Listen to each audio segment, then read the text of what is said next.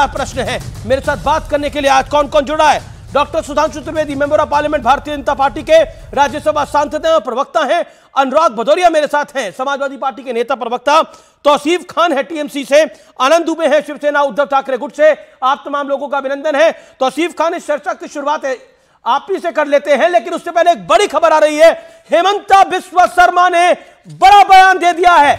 ममता बनर्जी के बयान को लेकर क्योंकि आसाम जलाने की बात कही थी कि दीदी, आप धमका कैसे सकती है? आसाम को धमकाने की हिम्मत कैसे हुई आपकी? ममता बनर्जी, हमें लाल आँखें मत दिखाइए। ये कहा है, भारत को जलाने की कोशिश ना करें ममता बनर्जी, क्योंकि दिल्ली के बारे में कहा है, आपको विभाजनकारी भाषा बोलना शोभा नहीं देता।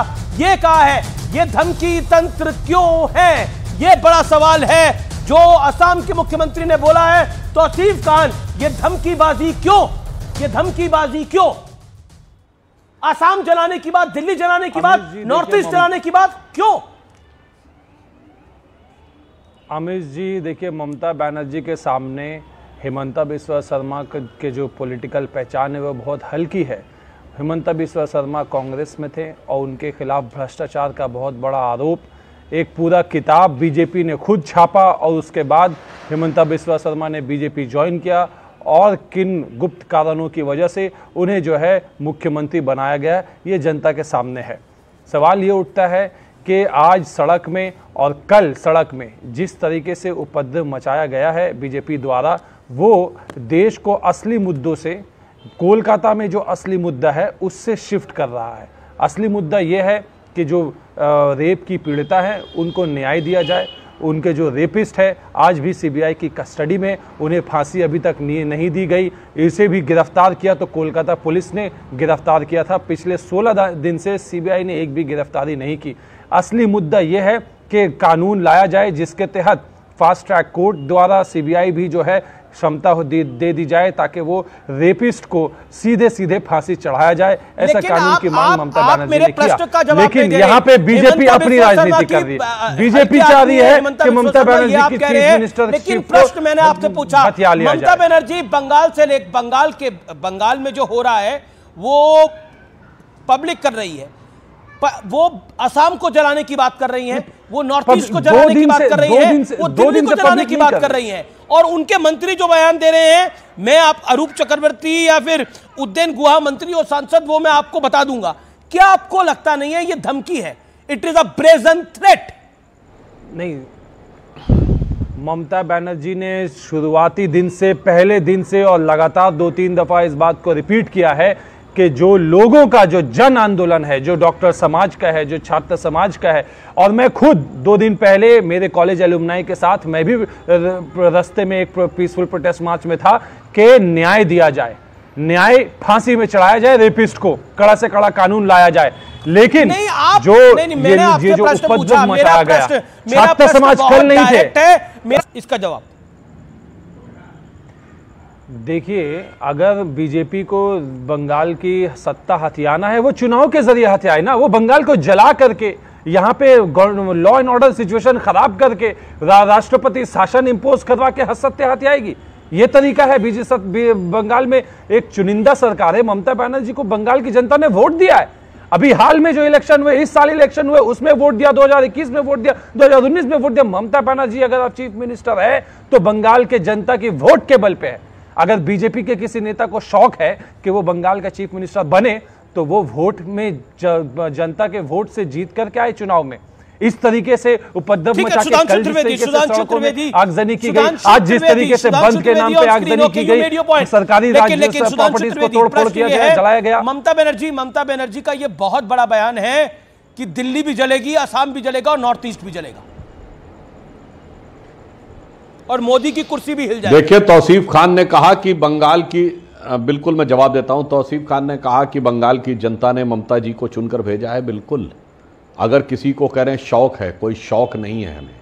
हमें बंगाल की जनता को उस कष्ट को, की अनुभूति है और उस कष्ट के निवारण के लिए हम आगे आ रहे हैं, और ये भी मैं बता देना चाहता हूँ।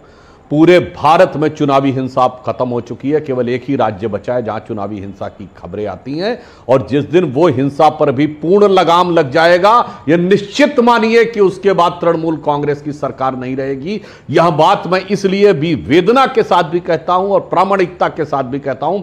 ममता जी जब हम लोगों के साथ थी तो उन्होंने ये बताया था कि कम्युनिस्टों की सरकार ने उनके ऊपर इस ढंग से लाठियाँ बरसाई थी कि उन्हें मृत समझकर वो लोग चले गए थे। अगर उन्हें आभास होता कि ममता बनर्जी जीवित हैं तो शायद पुलिस उनको छोड़ के नहीं जाती। आज उन्हीं ममता बनर्जी की जो संवेदनाएँ हैं इतनी मृत हो गई हैं, जो इन्होंने कहा न्याय दिलाने की बात और बवाल की बात तो महोदय एक उदाहरण बताइए कि पहले तो उस आरोपी को दूसरा कॉलेज दिया जाता है, उसके बाद उसे सुसाइड बताया जाता है, उनके माता पिता को मिलने नहीं दिया जाता है, क्राइम सीन को प्रोटेक्ट नहीं किया जाता है, क्राइम सीन को पूरी तरीके से डिस्टर्ब किया जाता है, तोड़फोड़ किया जाता है, जिसके बारे में सुप्रीम कोर्ट कहता है कि आपने सबूत तो नष्ट कर दिए हैं, और उसके बाद धमकाया जाता है और उसके बाद आज मुख्यमंत्री भी एक प्रकार से धमकाने वाली भाषा बोलती हैं।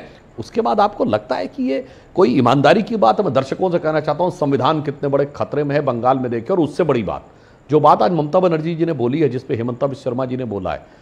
देखिए, वो तृणमूल कांग्रेस एक रीजनल पार्टी है, इसका पश्चिम बंगाल के बाहर तो कोई प्रभाव नहीं। हम मान सकते हैं थोड़ा बहुत प्रभाव इनका आसाम में हो। ये यूपी, बिहार और बंगाल में तो इनका कुछ भी नहीं है।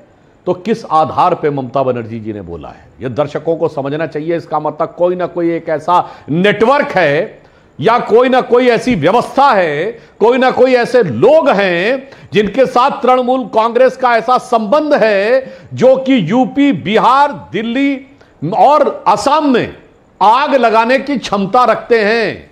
ये समझने वाली बात बी- है। बीजेपी बीजेपी मतलब बंगाल चीफ जो कुछ बताया जा रहा है उससे मुजुमदार- मुजुमदार का बड़ा बयान आया है। ममता जी के इस बयान में छुपी दिखती बड़ा बयान है कि राष्ट्र विरोधी बयान है ममता बनर्जी का। राष्ट्र विरोधी बयान है।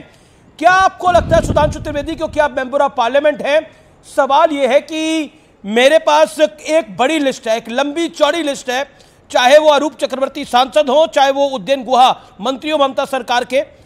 जो तमाम लोग धमकी भरे अंदाज में, कोई डॉक्टर को धमका रहा है, कोई कह रहा है कि किसी ने अगर ममता बनर्जी की, का इस्तीफा मांगा या उन पर उंगली भी उठाई तो उनकी उंगलियों को पहचानना होगा, उनको तोड़ने का इंतज़ाम करना होगा। ये मंत्री कह रहा है उद्यन गुहा।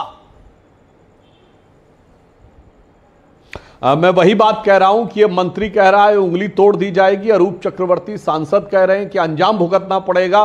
मुख्यमंत्री घुमा फिरा के ये कह रही है कैरियर बर्बाद हो जाएगा पासपोर्ट वीज़ा नहीं मिलेगा। और ये सिर्फ़ एक बात नहीं है। हम ये बात पहले भी बोल चुके हैं अमीश जी। तृणमूल कांग्रेस का वकील कौन है? वकील है कपिल सिब्बल जो राज्यसभा सांसद है समाजवादी पार्टी के सपोर्ट से। यस और लंबे समय तक मंत्री रहे कांग्रेस के। पुनः दर्शक इस बात को समझें।